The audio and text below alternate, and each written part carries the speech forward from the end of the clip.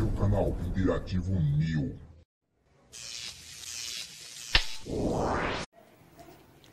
E aí galerinha, beleza? Meu nome é Flávio, seja bem-vindo ao seu canal Interativo New. Galera, como vocês sabem, aqui o forte do canal é jogos compatíveis com o controle, gamepad no caso, né? Aqui eu uso o gamepad do PS3 e o IPEGA 9028. Galera, o jogo de hoje é o Stickman Legends. Então galera, eu tenho entrado em contato há uns dias atrás com o desenvolvedor do jogo e pedi para ele adicionar a compatibilidade para controle.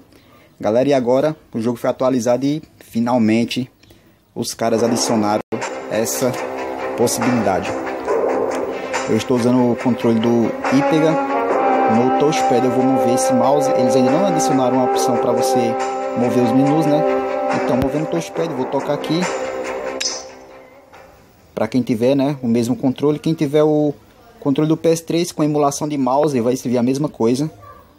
Na hora do jogo, o jogo está espetacular. Então, neste, dá um toquinho aqui no touchpad. Galera, tem outro jogo aí que eu também consegui compatibilidade para Gamepad eu vou mostrar vocês em breve, ok? E tem outros jogos que estão a caminho.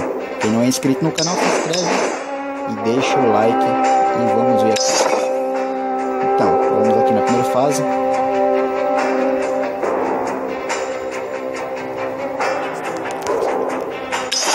O que aconteceu aqui. Start. Aqui, galera.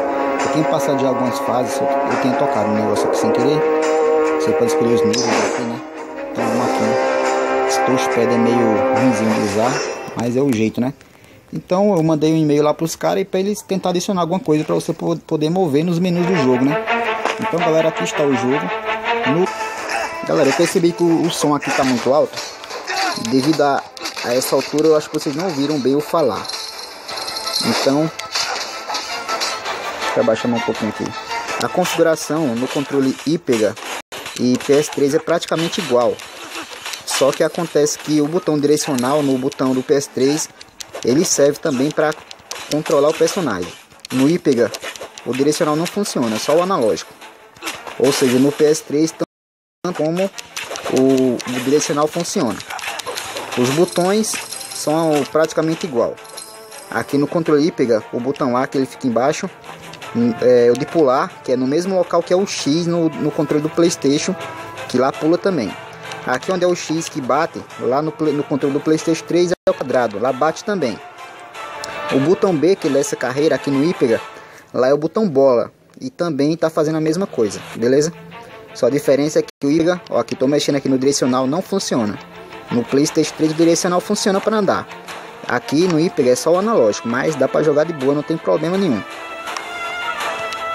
Também falei para os desenvolvedores adicionar a função de um, de um mouse, né?